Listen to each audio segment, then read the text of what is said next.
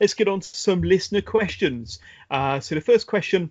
Yeah is from uh, some guy you might know quite well. He's been on the podcast a few times. He's an active member of the uh, Wrestling with Johners Facebook community page. Uh, Mr. Kieran Reed. Um, he asks, book your dream match, a, a, dream card for WrestleMania with current WWE rosters. So um, I'll go. I'll go, uh, I'll go first on this one if that's okay. My my dream yeah. Mania card. So some of the matches we do know uh, that we really can't change at this stage, but we also know that Drew McIntyre is going to take on Brock Lesnar for the WWE Championship. Um, I think uh, Roman Reigns is going to take on the Fiend for the Universal Championship. I think it's leading towards Shayna Baszler versus Becky. I think it's leading towards Sasha Banks versus Bayley. But some matches that we don't know too much about, and I, I'm predicting that um, uh, this might not be a, a you know a, very desirable match at this stage, but I think we could be seeing a, a, Raw tag team title defense, and I think Seth Rollins and Buddy Murphy will defend their titles at Mania against Kevin Owens versus Samoa Joe. I think that could be quite interesting. I'd love to see uh, Jordan Devlin and Kushida go against one another on the Mania card for the Cruiserweight Championship. I think that would be an amazing match. Even as a kickoff match, I wouldn't mind. They've done Cruiserweight Championship matches on WrestleMania kickoffs before. Um, I'd love to see Devlin versus Kushida get their moments um, on April the 5th. I think Andrade versus Rey Mysterio um, for a Universal Championship match, but I think an added stipulation of hair versus mask. I'd like to see that. Um, and then on the other side, on on the blue brand SmackDown, I'd like to see a fatal four way match for the SmackDown Tag Team titles: uh, the New Day versus Heavy Machinery versus the Usos versus Dolph Ziggler and Robert Roode. And I'd love to see Heavy Machinery win the titles there. Um, I'd, I'd like to see the NXT Championship to be defended at Mania as well. And I'd like to see. I mean, I've got it down here, and he might not be the champion as we've just discussed, um, but I've got down here. I'd love to see a, a match between Adam Cole and Daniel Bryan for the NXT title, and they had that match on SmackDown back in October when everybody was stranded over in Saudi Arabia. Adam Cole possibly against Daniel Bryan, or Johnny Gargano versus Daniel Bryan, Tommaso Ciampa versus Daniel Bryan, anybody versus Daniel Bryan. I think that will be great. Um, it's been rumored that AJ Styles might take on the Undertaker, so I'd like to see that. I've already mentioned that Rhea Ripley versus Charlotte versus Bianca Belair is kind of my prediction for the NXT Women's Championship at WrestleMania. Uh, looking at the Battle Royals, I think um, Keith Lee. I think he should be in there, and I think Keith Lee might win the Andre the Giant uh, Battle Royal. And uh, I've got three potential picks for the women's Battle Royal. I think uh, either Beth Phoenix, Nia Jax, or maybe if Bianca Belair isn't in the three-way championship match for the NXT title, then I think Bianca Belair could win the women's Battle Royal. But uh, Kira's question: Book your dream card for Mania, then Ashleigh. Uh, what have you got down? Uh, I've got when he, when he said dream Mania card, I just literally just scrapped the whole Mania card and made my own. Oh Without, yeah, go for yeah. it. So so literally, uh, I've got Brock Lesnar versus Walter because there was there was rumours for the Rumble that Walter would be number two, and Walter's come out and saying his favourite wrestler in the whole world at the moment is Brock Lesnar. Yeah. Because he, he just literally likes how Brock has run himself as a, as a wrestler nowadays because he likes how he works a limited schedule and he's literally doing it for a certain he's doing it for a certain time of the year and he's literally obviously he's working around his lifestyle as well. I've also got Seth Rollins versus Tyler Bates. Interesting, yeah, that would be an amazing match.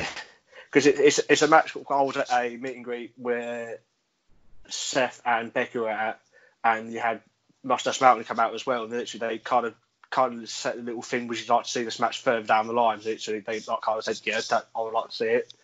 Um, I've got the club. This is just formed of AJ, Gallows, and Anderson, and Finn versus the Undisputed Era. Very good. Yeah. Um, I've got a few other matches. I've got Becky versus Rhea say a Champions League Championship match, and I've got a six women's tag team match between with Charlotte, Bayley, and Sasha versus Kabuki Boys and Io Shirai. Very good, yeah. Uh, I'm trying to think what else have I got here. I've got. Uh, nothing really. Uh, I've got the Broserweights versus the Revival versus DIY versus Imperium. Yeah as a. Have you, got, have you got the fiend on your card, Ash? Yeah, I do. I have a fatal. I was trying to think. I was trying to go through this and trying to think how the hell can I get him into a match Well, if I'm building a dream match. that's So I've got a fatal four way match with Reigns, Bryan, The Fiend, and also Cassius Ohno. That would be really awesome. Yeah, that would be a blowaway match, definitely. Awesome. Uh, any others you got down there to uh, answer Kieran's question of a fantasy card for WrestleMania? So I've got an idea for the US title have a ladder match. So you've got I can see Andrade versus Velveteen Dream versus Rey Mysterio versus Angel Garza versus Kevin Owens versus Cameron Grimes and Ilya Dragunov. That sounds pretty good. I'd watch that definitely. Yeah.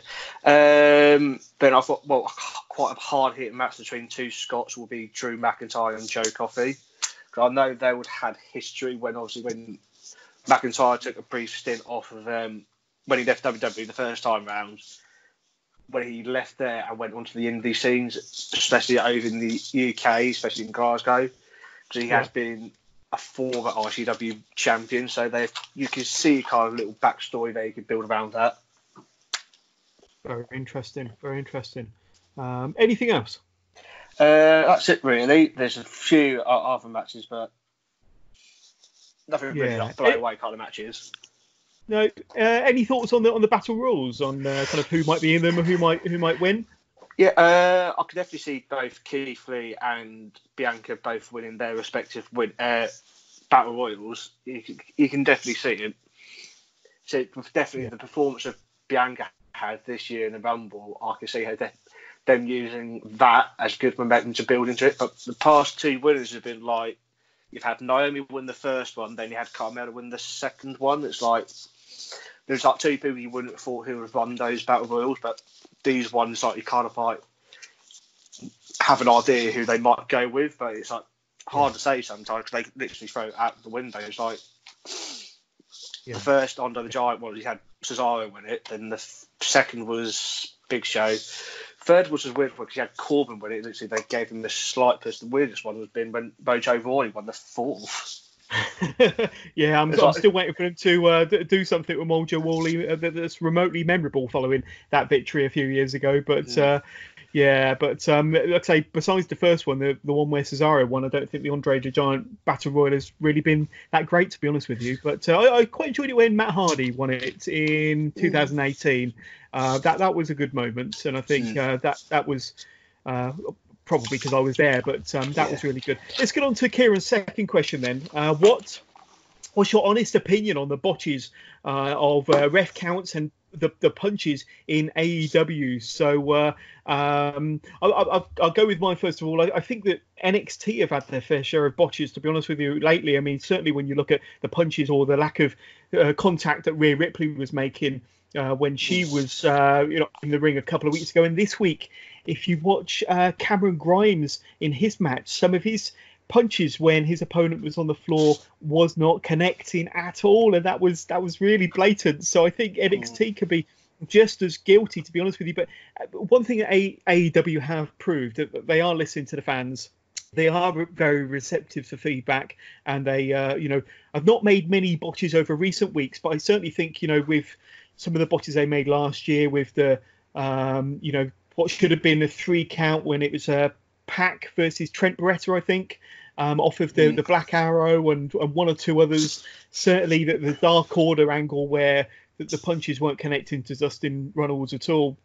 Um, but uh, you know, I'm guessing that with that feedback and the amount of backlash they got on social media, I'm guessing that they've, they've briefed their referees maybe, and I think that things have got a little bit better. And I think you've seen more botches um, similar to the punches anyway on NXT you have on AEW. But uh, yeah, I mean, it, it, did leave a bit of a funny taste in the mouth when you saw them botches that were kind of circulating social media from AEW. Um, but uh, you know, they are still a very young company, so mistakes will happen. Uh, but they are aware of when a mistake happens and they're willing to make improvements. But uh, I, I, know, uh, Mr. Clements, that uh, you've gone on the record once or twice about some of these botches. Um, yeah. uh, uh certainly about you know the, the, tag ropes not being used properly in tag matches, and about uh, the you know the, the, punches and the counts. But uh, give us your thoughts. Um, bring us right up to date on your thoughts on the, the, botches for AEW. Um, with overall with AEW, obviously we're saying it's a learning company. We thought when you had the two high profiles ones last year, especially with the PAC ones. Literally, you've literally killed like it's literally when you've done that, it's literally you've killed that as a finisher. Now he can't use that as a finisher really. Yeah. Then the other one was literally, I think it was a tag match between Private Party and Santana and Ortiz, where someone missed the cue to actually pull the referee out. And The referee just stopped and looked around for someone who pulled him out with no one in sight. Yeah, I remember There's- that as well. There's been a few that I've noticed the past couple of weeks, which I brought up one last week they had in women's match with Britt Baker. It's literally with the couch going down. You can see Britt's shoulders not clearly down. And it's Mm. like, it's like, yeah, I had a debate arguments literally. Oh, it's not that the things you need to learn it. So the high profile you can think of was a similar one was the Becky situation with Ronda last year at Mania. Whereas Yeah. obviously it played out, but obviously because WWE time right now, so it's, it hurts the big people who are in the match as well do that. It's not just down on the referee as well; it's down to the talent as well to make sure that these things don't happen. Yeah, yeah. So, um, uh, but you know, as we both agree, they are a young company. They are taking feedback on board. They are listening to social media and, and making uh, mistake, uh, making corrections to their mistakes, or certainly uh, not being afraid to take the feedback on board and move forward with it. So I've got to praise them for that. But um, yeah, I think NXT better watch their back because I think that they're getting just as much backlash for, for some of their botches recently as well. But uh, final question in our uh, listeners' question segment, and it's from uh, Grizz. Uh, Grizz is our kind of top of the leaderboard for the two-minute brainbuster quiz, at least for now. At least for now. But Grizz asks, uh, what dream match would you book if you had all the Saudi blood money, the Saudi money in the world? Uh, no wrestler is off limit as long as they are alive. Uh, then he goes on to say the same question, but in this universe we have the ability to raise the dead. So kind of a two-part question there. If you had all the money in the world, Ash, uh, what dream matches would you book uh, for the for the living and uh, for the dearly departed? Uh, go, go go ahead with your matches first of all. So I've got three for alive. I've got Pete Dunne versus Okada, That would be Uh, great. Seth Rollins versus Will Ospreay, and Yep. Zack Sabre Jr. versus Cesaro. Pretty awesome. Yeah, That's liking that. about- Those are my three matches that I could think off the top of my head that I would like to like to put under any circumstances. And what Especially- about? Go on. Uh, especially with the Seth Rollins Will Ospreay, 'cause you had that kind of sp- that's the Twitter spat you had last year.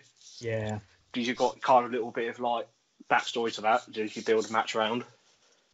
Yeah, definitely. Um, and and for for the uh, for the for those no longer with us, um, and it, I, I mean, in my list, it involves um, maybe uh, one person that's dead, sometimes two people that's dead against maybe a live person. But uh, go ahead with your list for, for, for the other other end of Grizzy's question. So I'll, I'll, we spoke about this off air because I've got a controversial one. So I'll give the non-controversial one to start off with.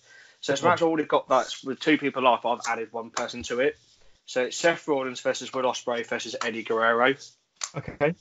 So I could see that because especially it's three people who like when they growing up, when they started off their career, they were very that light heavyweight cruiserweight kind of mentality, like type of wrestler. So I think you can have the three different kind of backgrounds in the cruiserweight division is when they came up. So it's a quite different kind of match where they can I could see they possibly could all gel together. Yeah. And the other one that's controversial is a match between two probably of the best technical wrestlers. One is currently living, one is sadly no longer with us for specific reasonings. It's Zack Sabre Jr. versus Chris Benoit. That would be a pretty uh, decent match.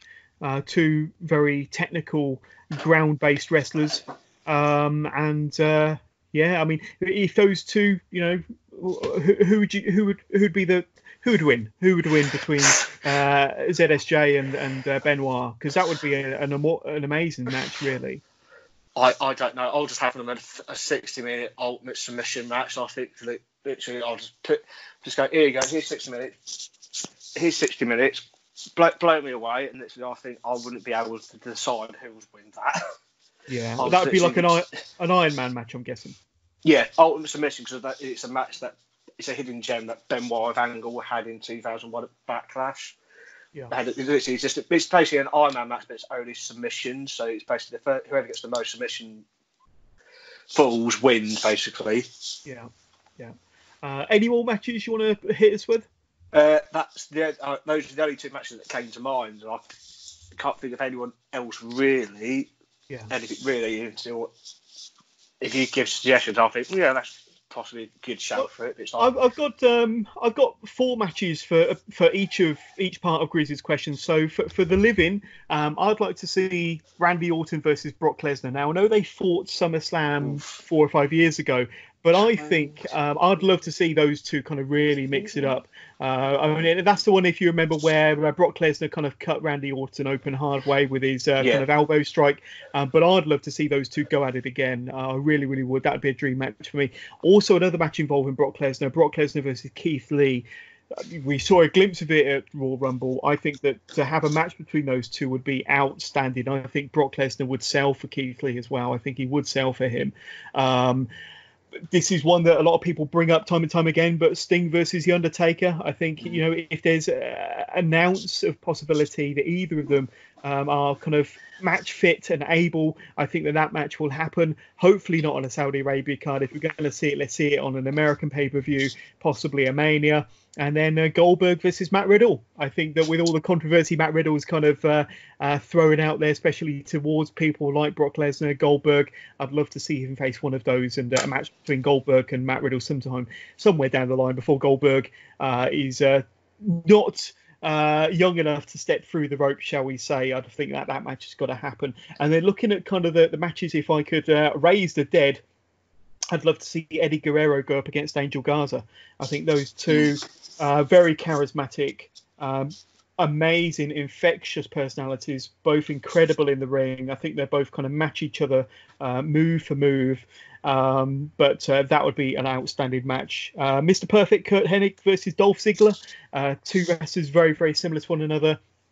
Um, just thinking about kind of the sweet the sweet drop kicks and uh, the, the bouncing all over the place of one another. Both Dolph Ziggler is kind of like almost a, a mirror image replica of, of a Mr. Perfect. Uh, my controversial one is is uh, two dearly departed uh, wrestlers, Dynamite Kid versus Chris Benoit. Uh, Chris Benoit grew up idolizing uh, Tom Billington, the Dynamite Kid, and modeled his his style on the Dynamite Kid, his wrestling style um, and both wrestlers kind of you know side by side would look so similar in terms of their physique and their wrestling uh, ability that would be a great match purely for the wrestling standpoint um, and then my final match would be uh, a current wrestler, Jon Moxley, going up against Rowdy Roddy Piper. I think those two would have an amazing brawl um, all over the place. And uh, yeah, I think Roddy Piper, Jon Moxley would have a, a, a brilliant match. And uh, yeah, let, us have let them have a, a, fist fight, tape up their fists, let them go at it. Um, let them brawl all over the arena, um, but Roddy Piper versus Jon Moxley would, would be my uh, kind of top match there. But um, thanks for all of your listener questions. Don't forget that we're going to be doing a listeners' questions segment every single week on the Wrestling with Johners podcast. I'll be promoting it uh, kind of in the run up to the weekend, but usually from about Thursday, Friday, sending you questions on social media through either at with Johners underscore pod on Twitter. Uh, just search the uh, wrestling Facebook page, Wrestling with Johners, um, or on Instagram. You can send us a question if you want, um, uh, just at Wrestling with Johners, um, or send us an email, wrestlingwithjohners at gmail.com if you want to get in touch and send us a question for next week's show.